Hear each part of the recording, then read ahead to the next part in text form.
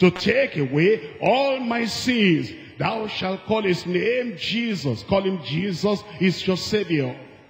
Call him Jesus is the one that died for you. His blood washes whiter than snow. And the remembrance of anything you have done and the handwriting against you, everything will be totally, totally, completely forgotten. Thank him for that. You believe it in your heart. You confess it with your mouth. That Jesus is your Lord. That Jesus is your Savior. Confess it with your mouth. And it is so. And it is so. You are that whosoever. God loves you so much. He will not allow you to perish. He will not deal with you like he dealt with Belshazzar. You are different. Because your heart is calling upon the name of the Lord.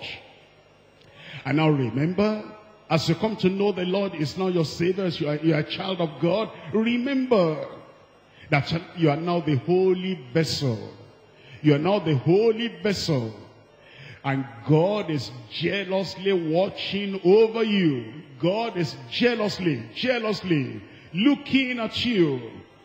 And if anything wants to come to defile you, God will defend you. He'll protect you in the day and in the night. He'll defend you and protect you against temptation.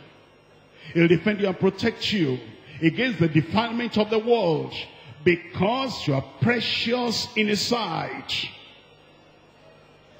He covers you. He protects you. He preserves you.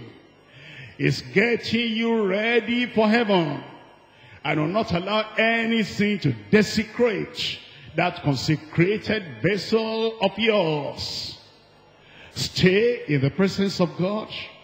Stay under the mighty hand of God. He's able to keep you. He'll keep you from falling.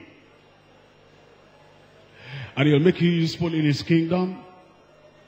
Make you useful in his kingdom. Will not allow any Belshazzar to take you, desecrate you, defile you, and make you useless and worthless in the kingdom of God. You'll be a vessel unto honor, sanctified, prepared unto every good work. And great will be your reward in heaven in glory. Trust him, trust him, trust him. And make up your mind. You will not seek help where there is no help.